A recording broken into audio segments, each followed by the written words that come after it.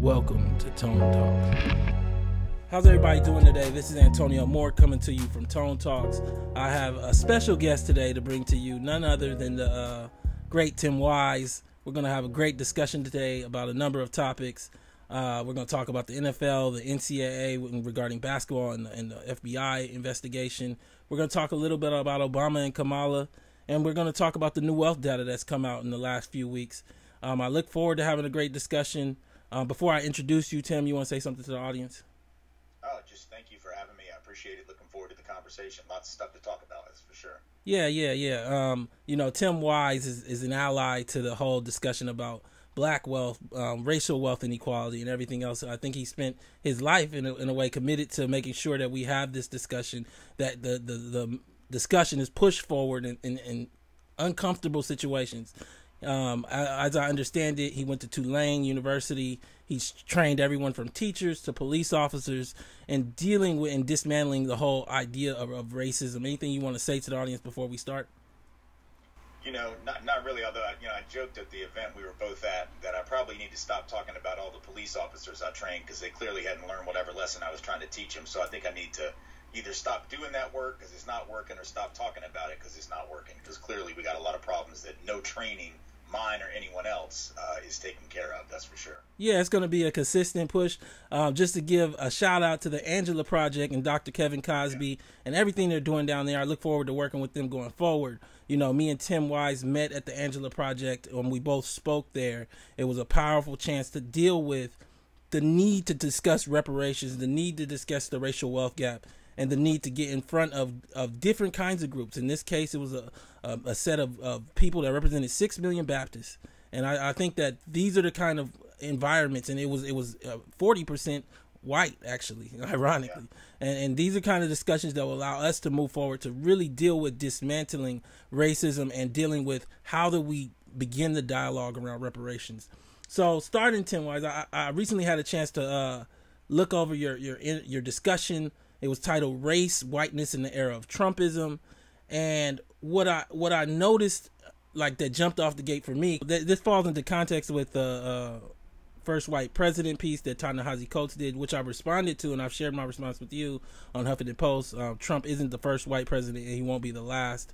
Um, and I wanted to know. You said Trump is not something new, right. and then you said he's not he's uniquely dangerous but not new and i wanted you to explain that and, ex- and and give us some of your thoughts on coates piece.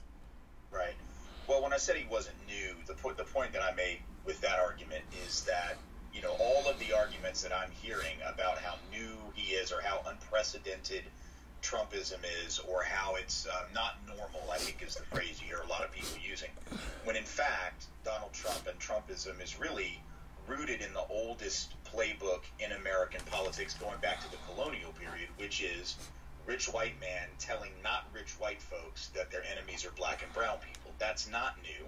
It's not something Donald Trump thought up. Um, it's been around literally for 400 plus years going back to the colonies. So the point I was trying to make there was that, that in a sense, this is the same monster that has always been under the bed in this country and on this land. And, and I think it's important to know that because I think it's important to realize that when you're fighting the monster, think it's a new monster, it's scarier, right? You, you, don't think that you can use certain strategies or learn lessons from the past when in fact you can and you can take strength from that. Uh, when I talk about the unique danger, now this is where it gets a little dicey. I don't actually think that he's per se more dangerous, but I think there's a uniqueness to the danger of the moment, not because of him, because, like I said, he's not doing anything different. What makes the moment uniquely dangerous, I think, is that in all of these past eras, when white folks like Trump played upon white racial fears or, or, or a sense of grievance in order to backlash against gains by black and brown folks, white rage, as Carol Anderson calls it at Emory University in her latest book, um, there was always a certain degree to which it worked. Obviously, white rage was very effective, and, and it and it rolled back a lot of gains for black and brown folk. But in those eras, white folks were still such a commanding majority of the population 80%, 85%, 78% that the sense of grievance didn't always translate into full scale backlash because there was still that sense, I think, in a lot of white folks' mind, like we were still running stuff. You know, when you had 80%, you could say you were the victim of reverse discrimination, but honestly, at some point, you had to sit back and be like, mm, that doesn't really make sense. The problem is right now we're at a unique moment in American history where you got a few things that have happened all at once that make Trumpism uniquely dangerous because of the context, the background noise. So the four things that I talked about in my book, Dear White America, were the election of a black president, albeit not one that empowered or really changed the racial dynamic, but symbolically challenged white America's sense of who leaders ought to be. Secondly, the economic meltdown that confronted white people with the kind of insecurity that we were not used to since the Great Depression. Uh, 85 years had gone by since white communities saw anything like what happened during the recession. So you had that happening at the same time. Then you have popular culture, which has thoroughly shifted. Uh, everything from music to fashion to food, all uh, pop culture icons, increasingly multicultural, which again, you and I both know doesn't mean the actual power dynamics have changed, but symbolically, when culture begins to shift, the dominant group can feel threatened. And then, fourth biggest thing, demographic shift. So in the next 30 years, if it is true, and it is apparently, that white folks will be maybe about 55, maybe 50% of the population, folks of color will be another 50%. All of those things happening at once confront white folks with a level of insecurity. I don't think a justifiable insecurity, but a predictable one that makes Trumpism more dangerous because he can capitalize on all of those things in a way that. Um, the interesting thing that I see as well is, and I pointed this out in my piece, um, is you had Washington who owned 317 slaves, chased one to the end of her life.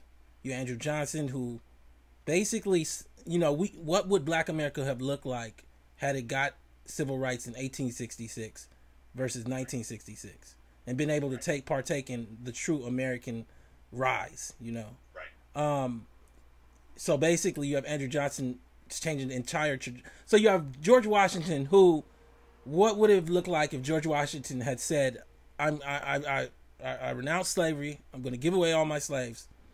Slavery should not be in America." What would it have looked like if Andrew Johnson had said in 1866? I, I agree. There should be civil rights for these blacks, and a hundred years earlier than it happened, we had civil rights during the industrial revolution and everything else. And so what I come to is this is this is this issue where Trump has become a place for white people to hide. And I I guess the reason why I say that is while the demographics are changing, the wealth isn't. White America now still controls 90% of the wealth. If you look at land, white America controls 97% of the rural land six white families own more rural land than all of black America combined.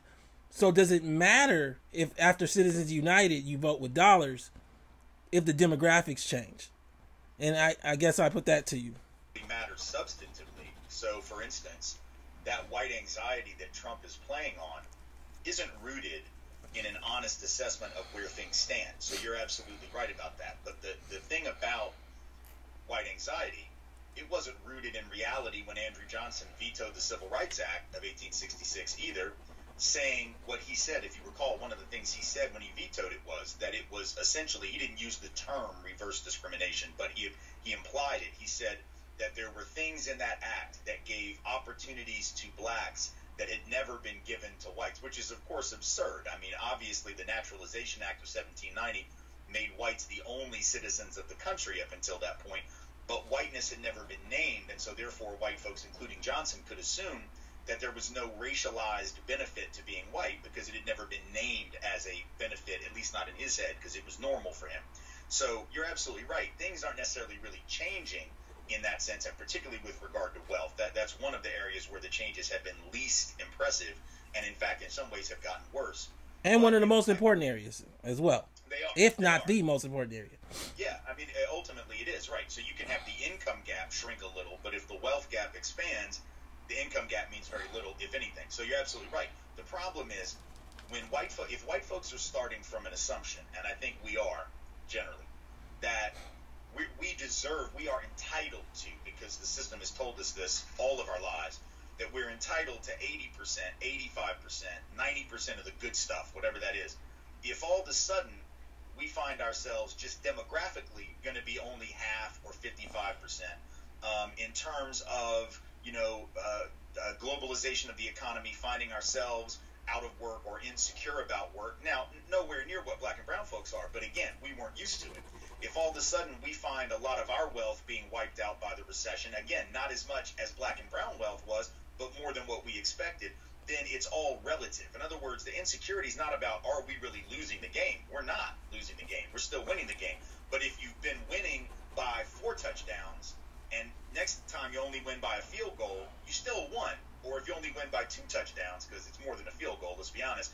Um, but if you only won by a little bit, you feel like the game is getting tighter. And now you start to worry because it's all relative to what you expected it to be, not necessarily relative to the reality of where you are vis-a-vis somebody else. I think. Um, it's interesting that the, the way the way you uh you you pose that because I've had two or three very interesting interviews. One of them was Shapiro, um, Black Wealth, White Wealth, and he talked about how much of the reason that we have such a bad dialogue on race is for a long time we looked at only we only looked at income. You know, we didn't really look at wealth until the 90s. And I think what what what I, I come to you as as as a kind of interesting like twist on that analogy is I think what starts to happen is we we reframed race as the Hatfields and the McCoys. And in that context, I mean, black people weren't in the race; they were the shoes. They were a piece of an equipment, and now the shoes have a hole in it, and you wanted to race a race against white folk. Right. And I think for a lot of white folk, so many different pushes have made them not understand black people. I, I you know I call it the decadent veil as far as black celebrity 300 black black basketball players somehow are multiplied to be millions of people. By the way, media shows them over and over again doing stuff that I deem irrelevant. Their their marriages, their home sales, things that white people are doing all day, every day. Oh, yeah. And I think for for for me, what I come back to is this larger question of what is the value of whiteness for the lower class? Because I, I, look at a show like Breaking Bad, Bacon, I look at a show like Breaking Bad, and for me, I contrast that. I, you know, I was nominated for an Emmy for a documentary I did on on the Iran Contra Freeway Rick Ross, the Rick Ross lawsuit, and the imagery of the dope dealer, which I understand and I I, I partially agree with about you know the the insidious reality of selling crack cocaine. But we flip over to Breaking Bad, and just as much as it was a show to me about meth, it was a show about whiteness and the power of, of, of, of the main character to be able to use his look to yeah. traffic between being a teacher and a meth salesman to the point where we actually saw meth. I saw an infant. this is gonna trip you out. I, might even pull it up so everybody can see it. They had a costume for an infant to look like a person that makes meth in the um in the trailer, and and and, you saw this commercialization of basically white privilege in that sense. And I, I, I let me ask you it in a question to kind of what is this value of whiteness for the lower class to be able to look anonymous, anonymously like like wealth? The, the primary value of, of whiteness to the working class is psychological. It's what Du Bois called the psychological wage. Um, this idea that I don't have much. I might not have anything really economically, but at least I'm not. And then you fill in the blank black you know, Latinx, indigenous, whatever it is. And and I think for 400 years, or at least 300 and some, that psychological wage has worked amazingly well at convincing working class white folks that they have more in common with the rich than they do with black and brown folk. Now, it's not objectively true, but um, but you know this is why it's psychological wage and not the kind that actually pay your bills, pay your health care, you know, send your kid to college or whatnot. Um, I think the other potential benefit, and I don't want to to overplay this, but I also don't want to underplay it, is that whiteness still has historically held out, if not the promise, the and if not the well, if not the guarantee, at least the promise of mobility, right? In other words, to be white meant, even for working class people, that I was going to have, excuse me, at the very least, what we could call horizontal mobility, i.e., my daddy worked in the coal mine, I work in the coal mine, my son's going to work in the coal mine. Now we know you're probably still going to die by the time you're 58 if you work in the coal mine because you're going to get black lung or whatever. Um, you're, you're, you're not going to, you might get disability even before that because of an injury. It's not going to be an easy life. You're not going to get rich. But there was a sense of a, of a promise of some level of stability and predictability that people of color never took for granted, including, I should point out, black coal miners, right? I mean, even those who worked in the mines who were black didn't take for granted that they would always have work, but I think white folks did. Other white folks, maybe not coal miners, maybe not in real poor rural areas, but other white folks, maybe farm families and others, um, could always assume a certain uh, uh, horizontal, not, not even just horizontal, but vertical mobility, a sense that if they worked hard, that their kids really would be better off than they were. So that working class status was, as the old saying goes, we're all just temporarily embarrassed millionaires, right? In other words, we're just we're just temporarily struggling, but one of these days, dot dot dot. And I don't think people of color ever could take that for granted in this country, but I think a lot of white folks could, including those at the bottom, and they did, even though the data has said for most of our history that for the vast majority that wasn't real. That, that that upward mobility really wasn't real for people who started at the bottom, except for a very small percentage. So even a very small percentage of white folks who start at the bottom actually make it to the top. Now it's a bigger percentage than the number of black folks who start at the bottom who make it to the top. But even for most white folks, it isn't true. Yet there are just enough examples that they can point to statistically or even anecdotally to convince them that it's actually going to happen and that one of these days they're going to be as rich as Bill Gates. They're going to be as rich as the Walton family as opposed to being a greeter in one of the Walton family stores, you know. And I I, I guess you know Matt Bruenig did a did a great chart and I've used it in my animated video which I'll include at the end of this to explain like wealth. One of the things that I find interesting about whiteness is not just like the psychological impact in that sense, but more so the ability to hide in anonymity, meaning a store clerk sees you, she doesn't know if you have a million dollars or two million dollars or twelve million dollars. So she has to treat you with a certain decency because you might. And and I think for the other thing that I see as well is white America has a natural class arc. So if you were to see, and I'm pulling up a chart now, um, essentially it shows that the blue line is white America, and it shows that white America, you know, top thirty percent worth th- three uh percent of families worth three fifty or more. Top twenty percent worth five median family worth five hundred thousand dollars or more. Uh, top ten percent eight million homes worth worth uh, a million four or more. Now, what's interesting not just is the amount, the the pure raw amount of, because understand, eight million families. There's only 14 million families, black families, all combined.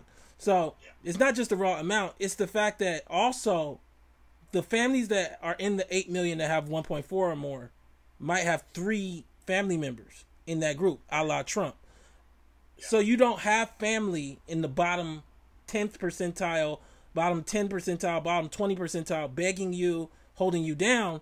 You have family as Trump had where when he failed to prop you up and it creates a sense of sanity for white America, whereby the people around you are like you as you as you move up, or you stay stay stay the same.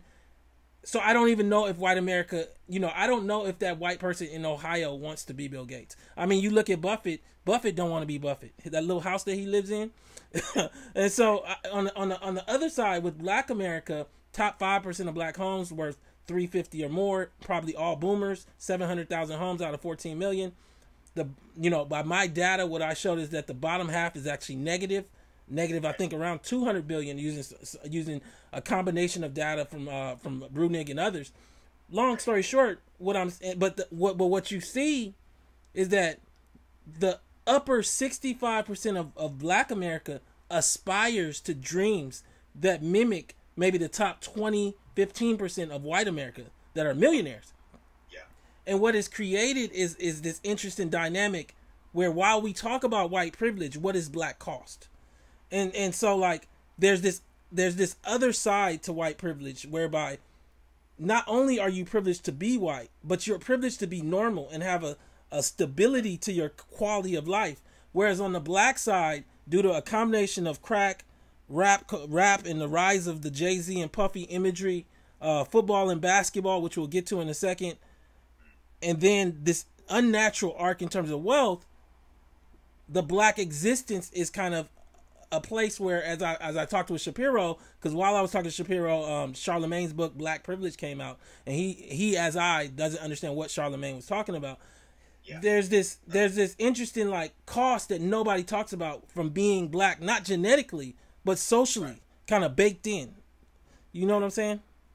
Yeah, yeah. I mean, there there is a you know a hidden cost, and it's it's one of the things that Shapiro's co-author on Black Wealth, White Wealth, Melvin Oliver, Yeah. wrote about in his follow-up book, um, which is uh, uh, I think it was I think it was Oliver's, or maybe it was Yeah. Tom's. I, I think it was Oliver's um, about the hidden cost of being African American, and, and specifically looking at blackness as particularly with regard to finances as as having a tax that you pay in effect uh, and whiteness as a subsidy so in thinking of it in those terms it is literally in many ways and has been historically a a reverse Robin Hood taking from those who don't have and providing to those who do, both through fiscal policy, monetary policy, labor policy, land policy, and, and distribution of land. So there's the psychological, there's the material, and I think you, you, you point out a really important thing about the normalization of whiteness because what that means is that if, let's say I am white, well, I am, so we have to say it, uh, as a white person, if I don't aspire to Bill Gates, if I don't aspire to being rich, if I don't aspire, or if I don't aspire to having a big house, or you know any kind of outward trappings of success. So if I want to be Warren Buffett, you know, and live pretty modestly and sort of eschew all the trappings, not all the trappings of wealth, but a lot of the outward ones, um, I'm not going to get judged for that. I can sort of be this sort of, you know, casual. You know, I'll give you an example. But you know, for for for white folks who come from small town America, rural America, um, they yeah they don't really aspire to what we would consider sort of an urbane, metropolitan, um, sort of uh, Super capitalist. Yeah, the super capitalist. The provincialism of small town life is fine for them. They don't care if they don't have a passport. They don't care about any of that stuff. They're very content with it. But the reason they can be, and, and there's nothing wrong with that, but the reason they can have nothing wrong with it is because they will not be judged if they decide to live in that way. If nobody's going to, like, you know, you think about coal miners right now who are saying things like, bring the jobs back to us, or or in the Rust Belt, right? Uh, Bring the jobs back, and that's what they think Trump is apparently going to do for them. Now, here's the thing: if black folks were to say, bring the jobs back to the cities that have been vanishing for 45 years, because you know manufacturing decline and, and capital flight began in, in earnest around 73. So you have black folks hit first, cities hit first. If they had said, bring the jobs, which they tried to say, bring the jobs back. Bring, you know, we want to work like we were working in these in, in manufacturing. People would say, well, why don't you move?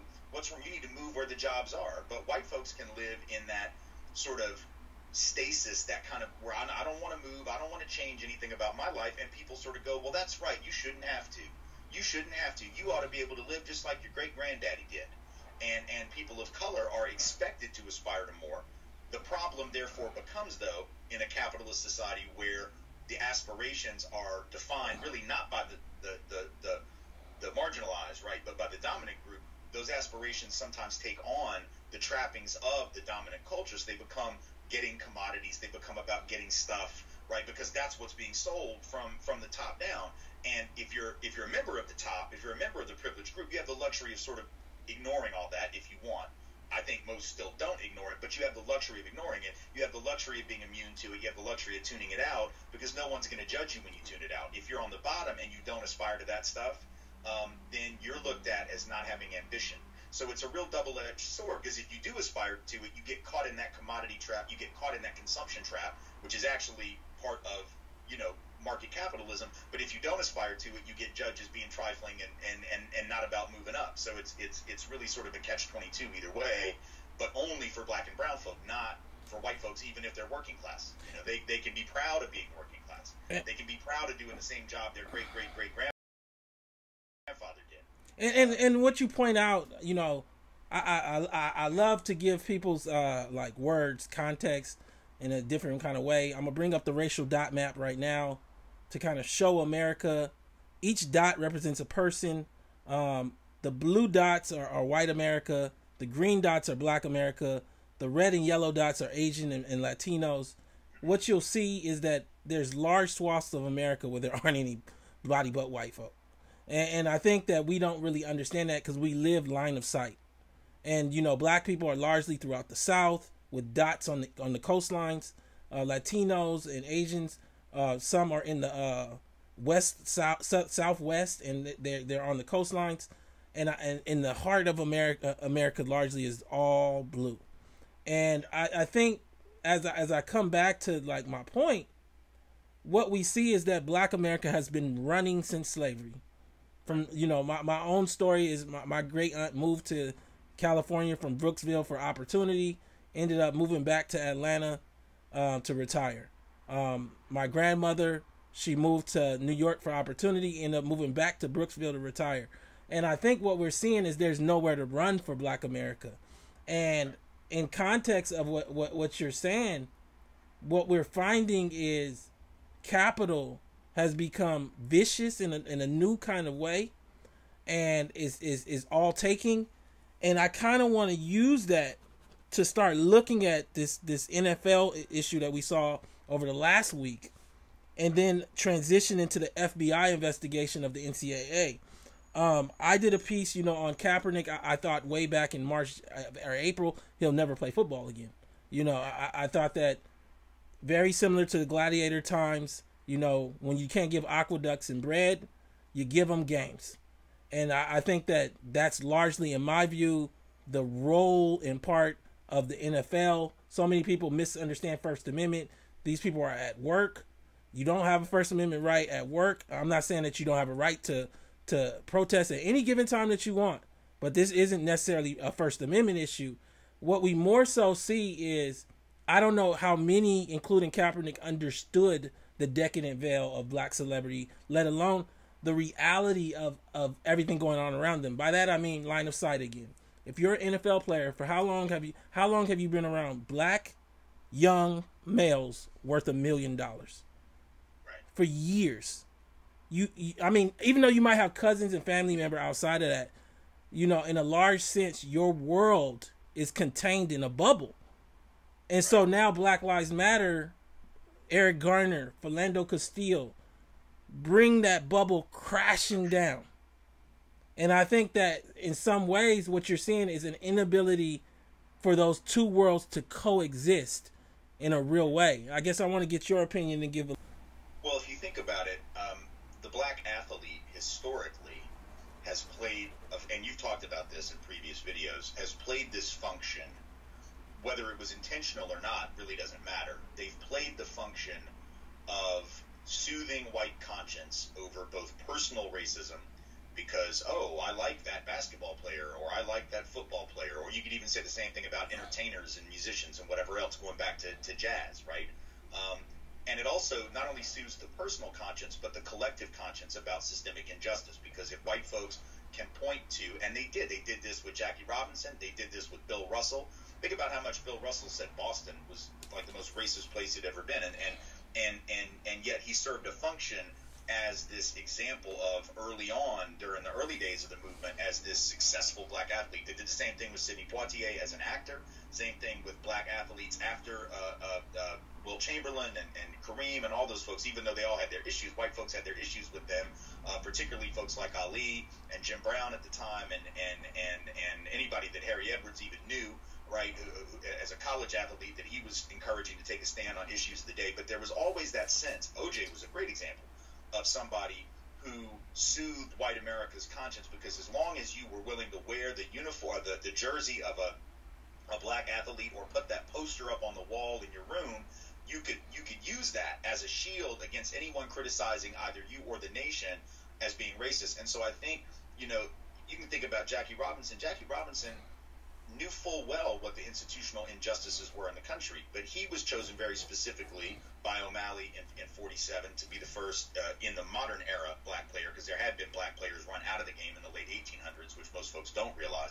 He wasn't the first, but um, he was someone who, who it was believed would be able to take it, right? And so there's always been that desire for black athletes to keep their mouths shut, keep their head down, do their job, which is to entertain a mostly white fan base. And that is not meant as a disrespect to any of the of the skills or determination of those athletes, or to say that they're you know, I'm not. It's not to say that they shuck and jive for white people as, as as some intentional thing, but but the way that sports are set up has always been dominated by the white dollar, dominated by the white consumer, dominated by white taste. And so if you're a black athlete who takes a stance like Muhammad Ali did, you will be shut down. Now we talk about Ali as a secular saint, and everybody looks at him fondly, but they only started liking him when he couldn't talk anymore.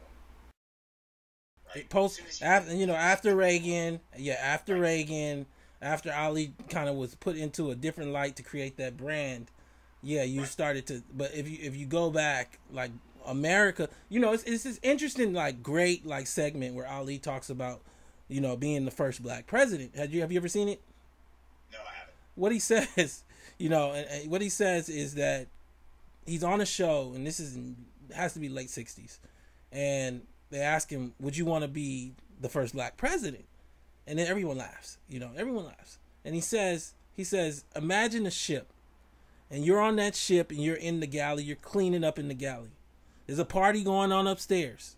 They're nice and dressed and everything else. Then all of a sudden, the captain runs down and says, "The ship's." Uh, he says, "You want to drive?"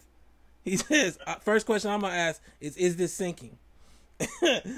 so, uh, you know, makes me think of Obama and the bailouts. But like, nonetheless, what what I what I bring up is one of the things that's interesting about Ali is that was a time when athletes, first of all, Ali wasn't part of a league. Second of all, Ali was Muslim. And third of all, most importantly, this is a time when you can't opt out of blackness by money. You know, I have an argument. I've had a chance to in my in my life really sit down and do and do dinner, break bread with everybody from Byron Allen to Dr. Dre. And one of the things that I believe happens is what wealth allows you to do in a niche kind of way is transcend racism on a on a on a one to one level. Not so much in dealing with the owner of an NFL team or the owner of a channel, but in terms of, of, of being in Los Angeles at a restaurant, they don't see you as a black man anonymously that might not have money. They saw you on TV, they know you have money, so you get to transition out of that. Now my point is, in Ali's time you couldn't do that. I don't care who you are, you're sitting in the back. And so it forced, you know, black entertainers to recognize their blackness in a way that's different now. And somebody might say, well, don't Serena and the fringe things that we see on television. You know, you look at Oprah as an example, and we hardly ever see hear anything about race from Oprah. But when the, the movie Selma's coming out, we hear about the bag and the bag and everything. But then when Selma's over, we don't hear about race no more. and so, what these black athletes in the late 60s, race was in, intertwined into consistent messages that came out of their experiences in America. And so I guess for me, one of the things that I thought Kaepernick did is without any provocation, like in far as like of course he had you had all of the instances of Philando Castile, Alton Sterling, but on a personal level, it wasn't like an owner said something to him and now I understand racism. It was a general awareness that something is amidst here, and I'm going to make a message so that America hears me either now or what happened a year from now. And and it resonates. And it's interesting because it resonated so much that you I believe you have a million dollar NFL PR campaign going on to shift the kneel from black oppression to equality to where Jerry Jones is on his is kneeling before open further. I mean, I would say I think the attempt is to shift the conversation to the idea of unity, right? The yeah. idea of can't we get along? I mean, with sort of the Rodney Kingification. No disrespect to Rodney King because he did the best in that moment that he could do. I didn't. I don't expect more of him in that moment than what he gave us in '92.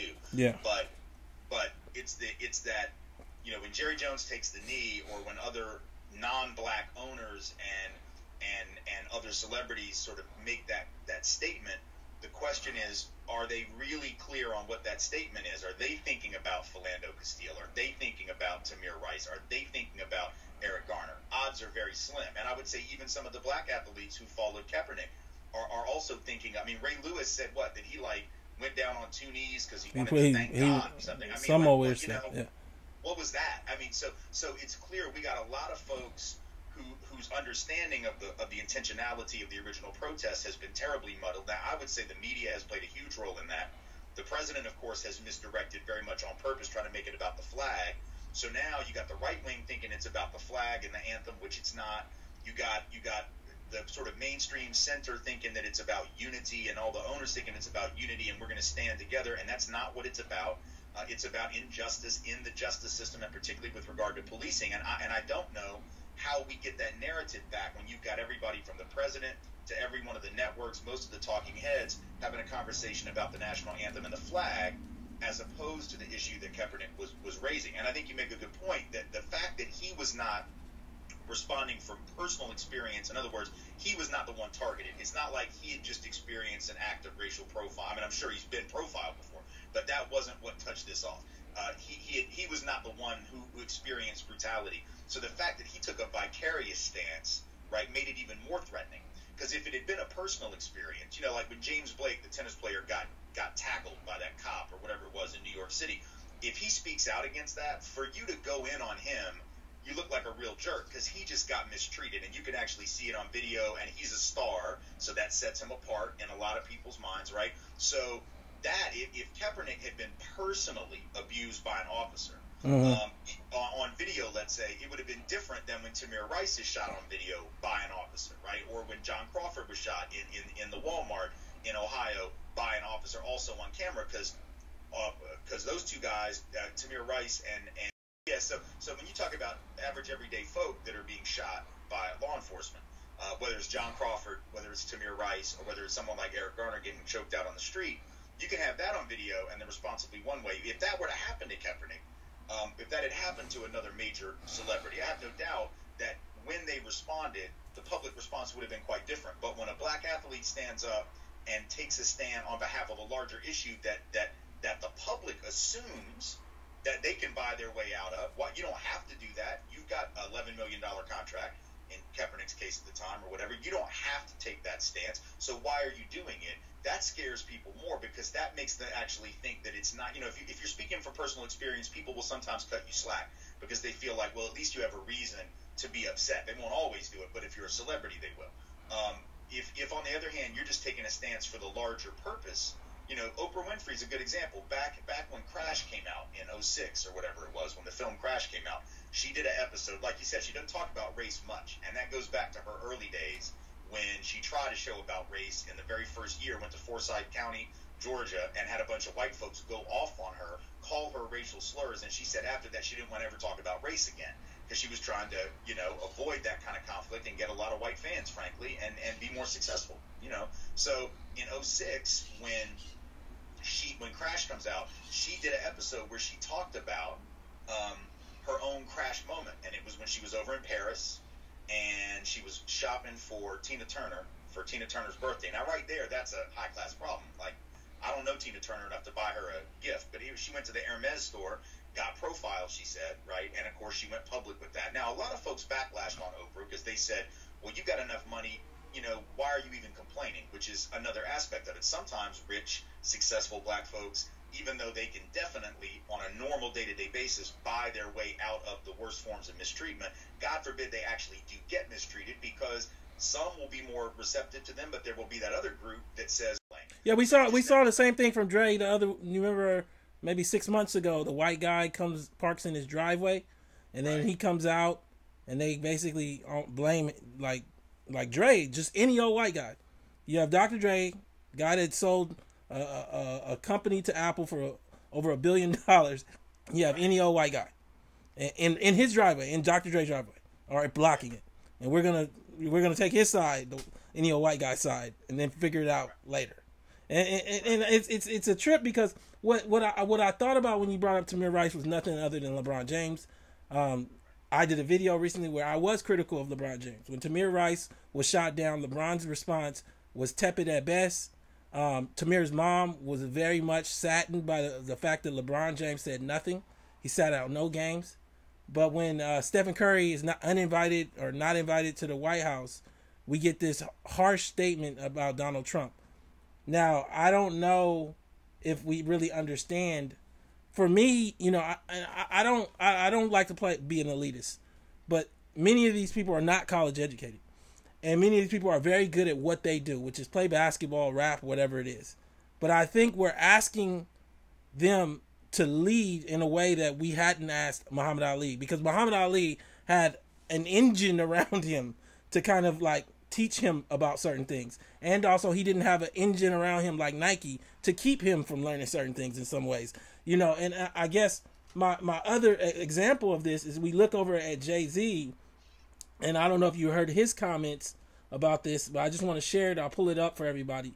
This is Jay Z speaking on, on, on the whole on the whole Trump and protests. I can't even say with all due respect, with all disrespect. I just think that you know he's not a very sophisticated man, especially when it comes to the idea until everyone is free, no one is free. Period. That's the that's just a fact. We are all linked some kind of way. So if you oppress a certain people, everyone is in danger. That's just karma, karm, karmically and in real life. If I'm being oppressed and you have this big nice mansion with all this, I'm coming inside there. So this is the problem though. This country has over 600,000 African American males incarcerated. Contextualizing that, I've looked at nine countries, including India, with a billion people, and those nine countries together have only 600, 700,000 incarcerated. That's today. How are you, as a man, able to say about say this about oppressing a certain people, and we're all linked in some kind of way in a nation that not only came out of slavery, but today has linked slavery through peonage into a into an insidious system of, of mass incarceration of a very specific group, which is young black males.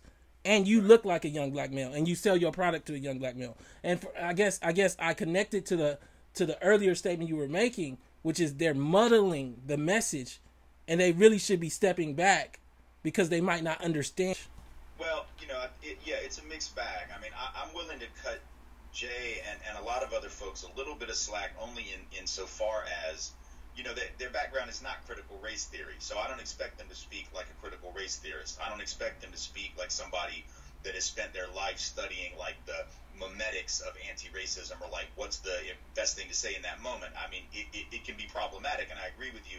If that's not your background, maybe sometimes it's better not to speak.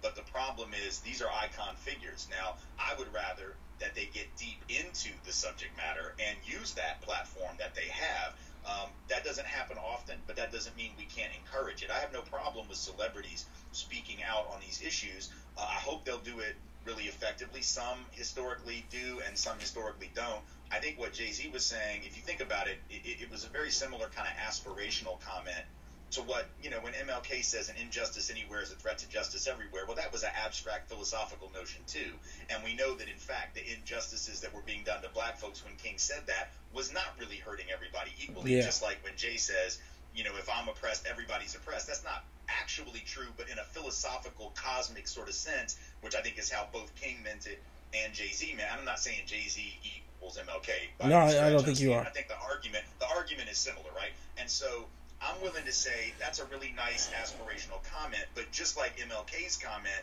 it's it's a it's it's a larger metaphorical kind of thing. It's not practically the case, and we we do need to, whenever possible, speak more directly to what the reality is. But but I'm I'm encouraged by the the idea that increasingly, whether it's LeBron, who who I agree, I mean I think the argument can clearly be made that he dropped the ball in the case of Tamir Rice.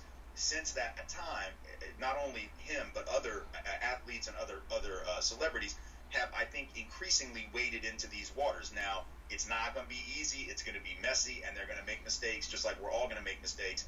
And, and, and I only can hope that as they make those mistakes, those of us who do this work can reach out to them, can can can help sort of improve the messaging right that people with that platform are trying to use. Because you see you see celebrities whose intentions I think are often very good, who don't know exactly how to say stuff. And that's not just with black athletes. I mean, like last month, um, Lady Gaga said something on Twitter that, that, that got her attacked because it was real naive. She said something about, you know, like basically asking black folks and brown folks, how can we who love you help, right? Which is like a really naive kind of thing that if you if you if you're deep in this stuff, you know you don't just go around asking people how can I help, and you don't go around acting like you're the non-racist and all the other white people are the racist. But I'm gonna cut her slack too because I realize she has not I can't get mad at you for not knowing stuff that you almost have no way you could have known based on what you were exposed to. My job is to expose you to it.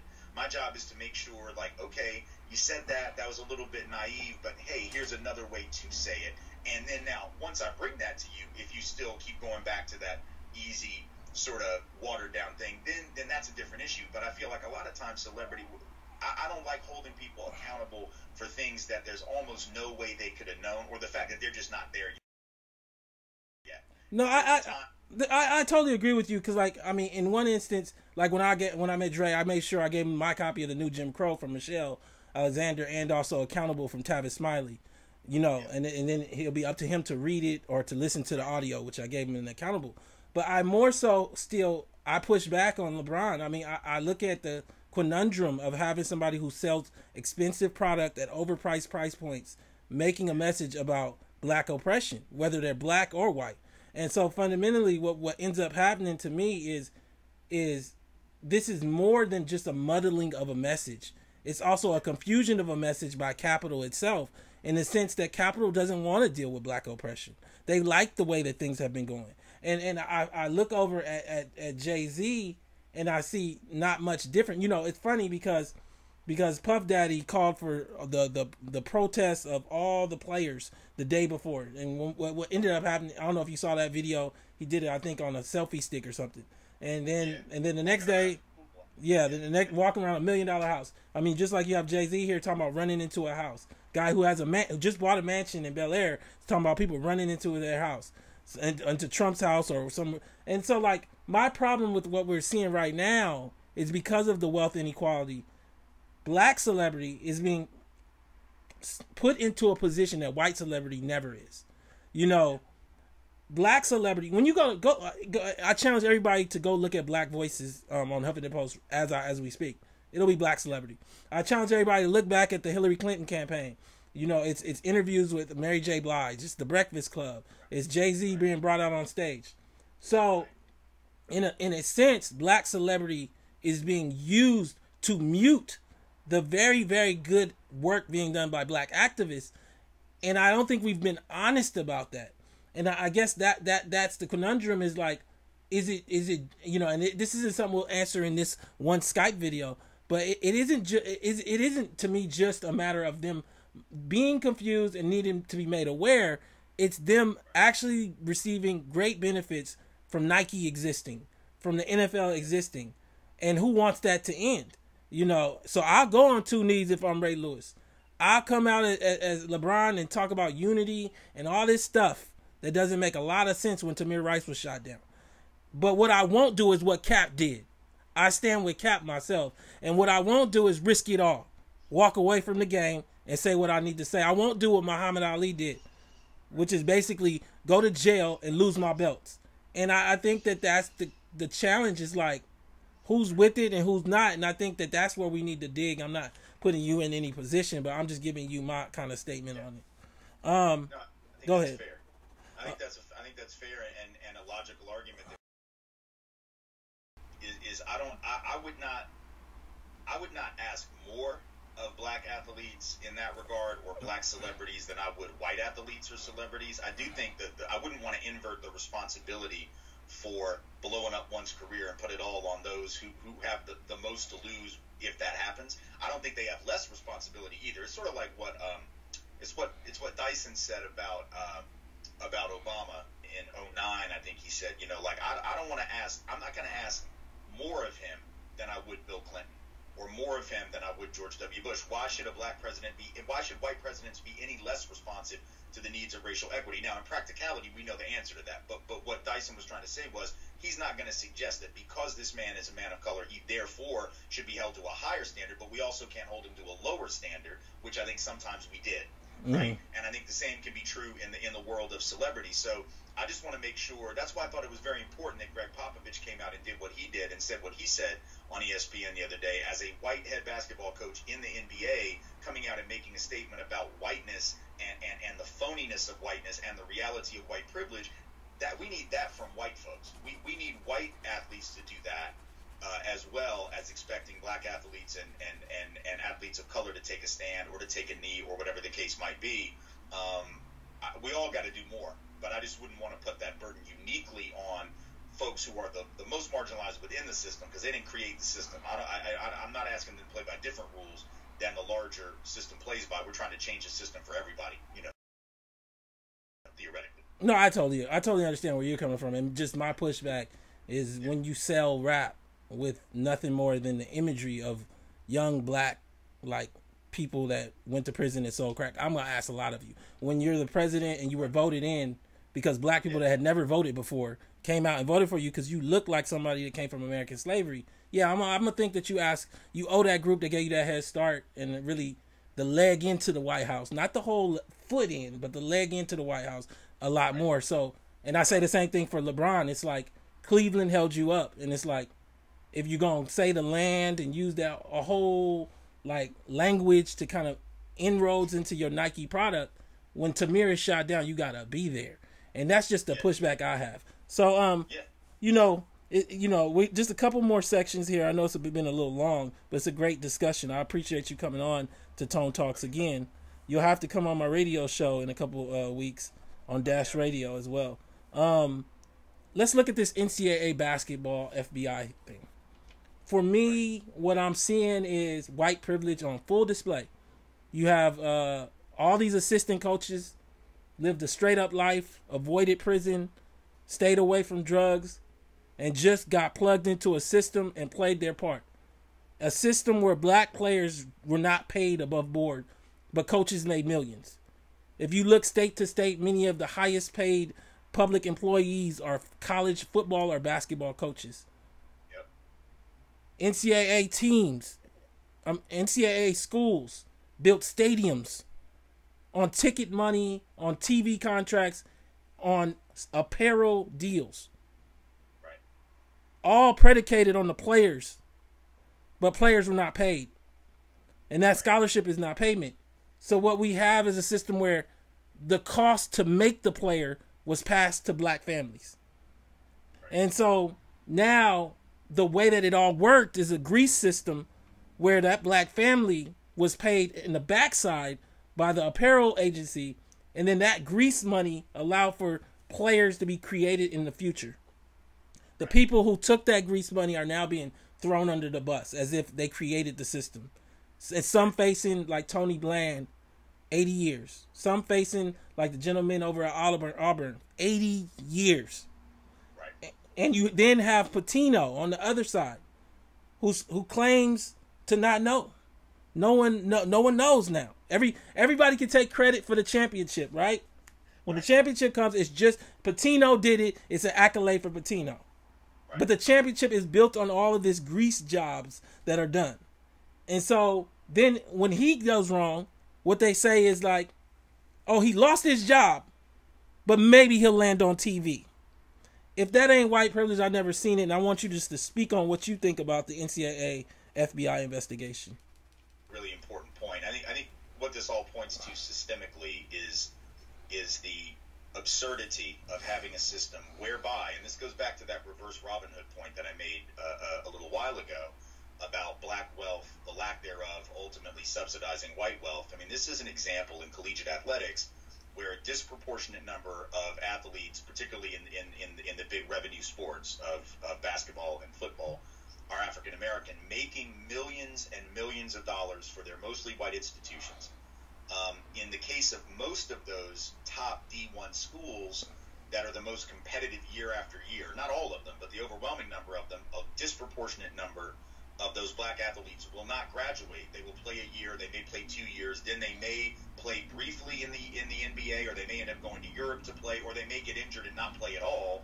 So, like you said, the scholarship is not clearly not payment because you're not even finishing the finishing the degree. So if I'm not finishing the degree, what did I get out of that? Maybe I'll play a couple years in the NBA. I think the average time that the, the, the average player plays might be three or four years. Yeah. Uh, and, and, right. And, and by the time you're done, whether you graduated or didn't, let's say you go play NBA ball for three, four years, you might get lucky and play longer if you're if you're a superstar. But the vast majority will not play at all, or they'll play a couple of years and then they're 25 and they got a degree that may or may not be worth anything um, unless they can parlay that into being a commentator, you know, on a on a radio show or a television show, they're not going to have a career that's going to be sports related. In most cases, they're not getting hired in the front offices of these teams after they play for them. So so clearly, if you have a system where all the revenue is being produced, really, and the benefits are going to white folks, whether it's the Pitinos or the most of the head coaches, or whether it's the athletic departments, or whether it's the stadium and the construction companies that build the stadium that are white-owned companies 99 times out of 100.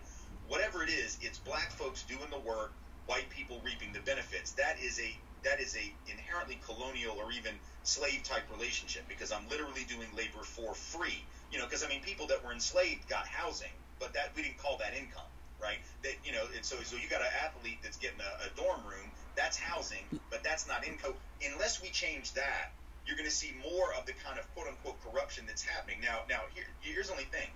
I think that the problem is we have to change that system because I, I don't necessarily think it's right that a handful of big, successful programs are able to do what Louisville did, while other programs cannot. The reason Louisville could do that and pay that kind of money was because that was a prize commodity. Getting that gig at Louisville to be on that team was a big thing, whereas getting the getting the same kind of ride at a school that wasn't at that level wouldn't have been as big a thing. So if we're going to have a have a system of rules, I think it's important that everybody plays by them. But because we know they're not going to, we have to change that system because that is going to encourage the very same kind of thing that we're seeing. And then ultimately, rather than fix the system, we'll throw a couple folk in jail potentially for having been behind it. We'll ignore the coaches who, of course, know that this stuff is going on, and nothing will change. So we have to make sure that if, if I'm bringing money to you, there's a moral obligation that I be compensated commensurate with the value that I'm producing for you.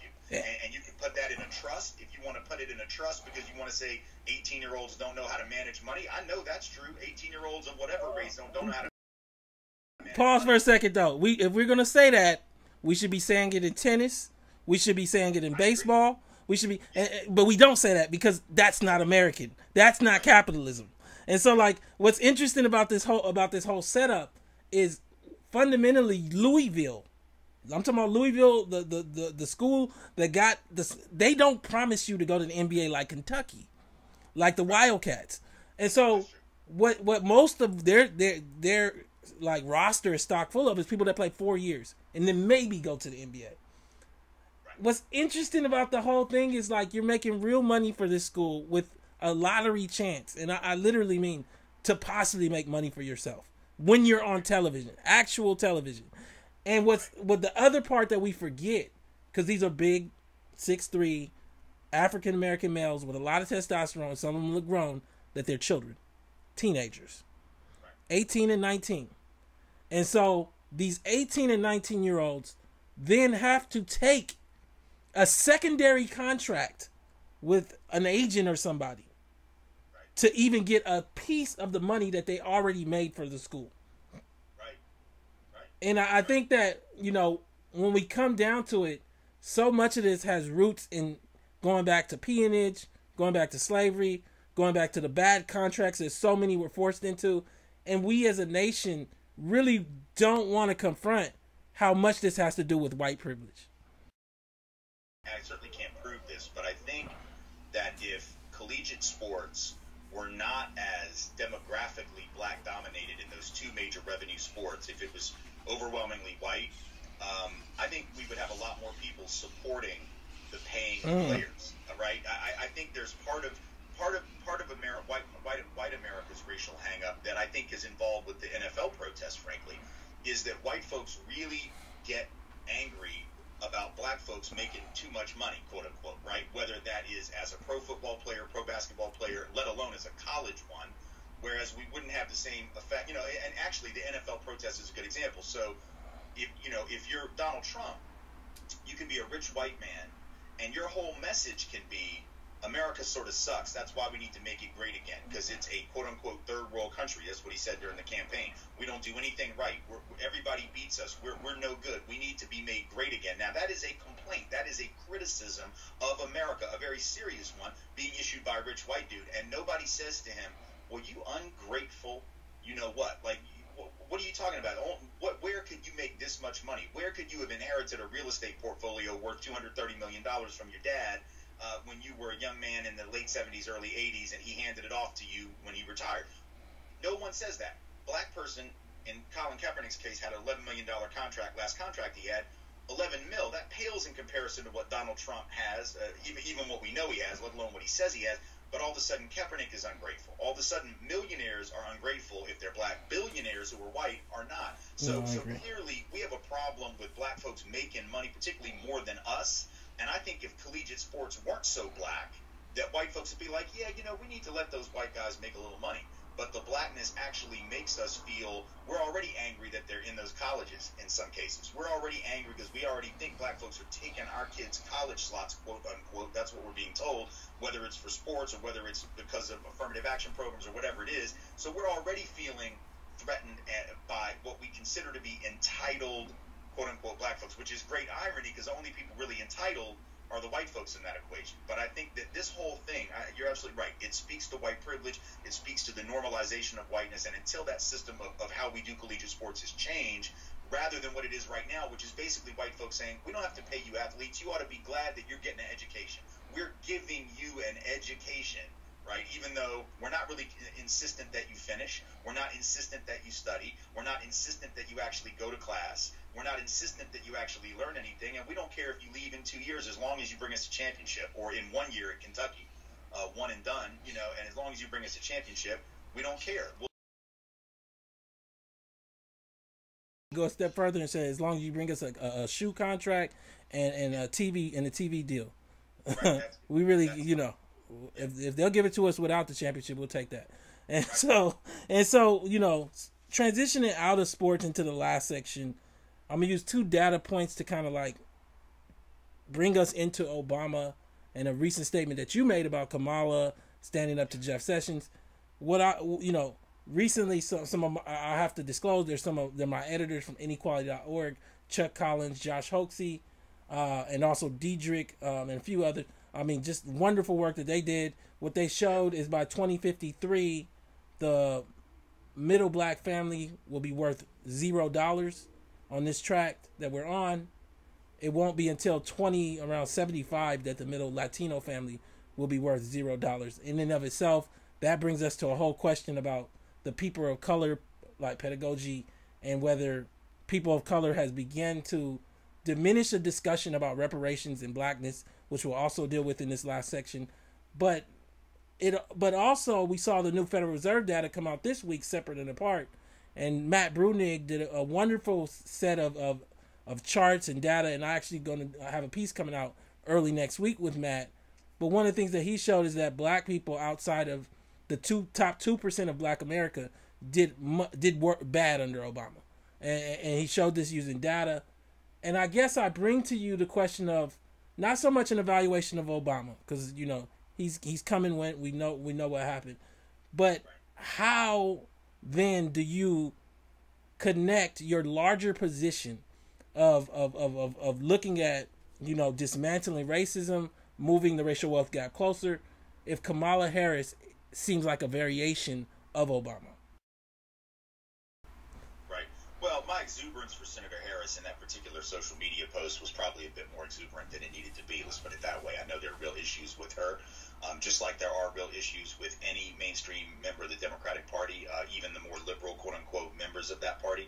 She has a mixed bag history in, in the state as a law enforcement official herself. So I realize that there are things about her, just like just like Senator Obama when he was senator, um, that I disagree with. Uh, my comment was more about saying that in, in the pantheon of Democratic candidates, who I always expect, frankly, to be inadequate to the task in and of themselves of moving the needle very far. Um, she certainly stands quite a bit above most of the others that I can think of at this moment within that party who are likely to be a candidate at some point in the future. And so ultimately, when I say that I might support her in that sense. It's not that I, am not going to phone bank for her. I'm not going to go out and knock doors for her unless I see her take some really transformational stances. But I do think that in this particular political system that we have, I also understand what the game is, and I understand that we have to sometimes realize that we have to do the work. We have to make whether it's Kamala Harris or whether it's Barack Obama or whether it's Bill Clinton or whether it's whoever it is, whether it's Bernie Sanders, whether it's whoever we ultimately have to make them do the work. And, and I expect the thing about Obama, the reason I wasn't particularly disappointed by President Obama was I didn't I didn't really expect all that much from President Obama. Do I think President Obama did a better job than any of those he was opposing would have done? Absolutely. Do I think that's adequate? No. Don't think that's sufficient. But I expect the, the head of the empire to act like the head of the empire. The empire itself has to change. The empire itself has to be quote unquote brought down, if you will, and that's our job. If we're not doing that job, those of us in the in the larger society, then nobody is going to deliver the kind of change that we're talking about, whether it's whether it's Barack Obama, Kamala Harris, whoever it is, nobody is going to be able to move the needle significantly if we're not demanding it as a condition of our support or as a condition of of just everyday life. Like we have to be in the streets demanding certain things. We have to be boycotting, protesting, doing whatever it is that we need to do, or else they will go with whoever their donors are, whoever their funders are. And the idea that we can just sort of withhold a vote from them and things will change on their own I'm not sure that that's sufficient. And so we can't do politics one day out of every four years or one day out of every two for a congressional race. Um, I think the thing about that, that wealth data that was so interesting that you mentioned, and, and this goes to what we have to also think about the way media frames these issues. So what you just said about uh, black wealth really only being increased in that top 2% is a really important point because if you looked at the way the Washington Post framed this same story, the same Federal Reserve study, the Washington Post, the way they talked about it two days ago, was their headline was minorities and non-college educated the only ones who saw wealth gain or had had the biggest wealth gains. And I saw that headline, I was like, wait a minute, what? Minorities and non-college folk had the biggest wealth gains in the last few years. I have to check that out. So I looked at it and I'm like, I don't really understand where this argument's coming from. Then I saw what you sent me, which I hadn't seen yet because I knew that that just didn't make any sense because a, a previous study that you referenced before talked about how things were going backwards, not forwards. And then I realized when I saw what you sent that the gains by that top 2% were substantial enough, right? That it closed the gap uh, or, or it made it made the overall black numbers, let's say, go up. But that's that's hiding and obscuring this other fact, right, that the 98% of the black community actually had net declines or nothing, either no gain or a net decline in wealth. So the way the media framed the issue also does us a lot of, a lot of harm. It's not just a politician the way a politician frames it. It's the way that our talking heads frame it. It's the way that our media frames it. So we have to push back on all of that because otherwise I think we end up missing the story, which is that that the last eight years did not improve the condition of the vast majority of black folks although there was a narrow group that did very well. The same sort of true during the 90s. I mean, in the 90s, you had a bit more broad base gains for black folk, but it was still concentrated. I don't. It wasn't probably in the top two percent, but I guarantee it was in the top 20. You know, yeah. top 15, top top 10, right? So, but we always talk about the 90s as this period, of, a great period. of growth for everyone, and that's not really what happened. Well, man, uh, yeah, that that last word was powerful. I appreciate you coming on the Tone Talks the discussion, debate, dialogue that we had. I think people will enjoy that. Um, definitely look forward to having you on my talk show dash radio 10 uh, start october 6th 7 p.m uh, pacific time i'll probably try to have you on sometime early november um, thank you so much uh,